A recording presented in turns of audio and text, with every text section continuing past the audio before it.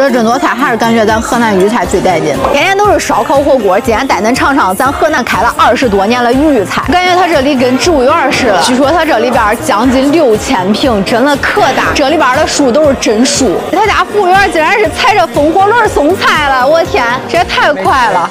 哇，真大一桌，原来七二七，现在二九九。这个菜叫许昌酸捣蛋，这名儿起的怪捣蛋，这很好吃，很浓的蒜味儿，这个吃着特别带劲，是吧？胡辣汤底下还带小火加热的。看咱家的海参炖肉胡辣汤，可是世代传统，看这牛肉有多大。胡辣汤是真的可好喝，肥瘦相间了，是最好吃了，完全不会觉得腻。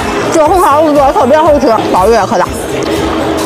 哇塞，这个太好吃了！这个红烧肉真的可以冲，嗯，兔兔不仅可爱，而且好吃，奶味特别重，好像真梨啊！这个形状做了也太真了吧！这形状让我想起来那个灯泡糖，里边还带馅儿的。这个是一个甜品，中间是甜了，别香这个。吃了这么多菜，还是咱河南菜好吃。它这边是一个办婚宴的一个场地，它这个场地真的可大，而且环境这么好。它这儿商务宴、生日宴、结婚宴，零点三台都可以。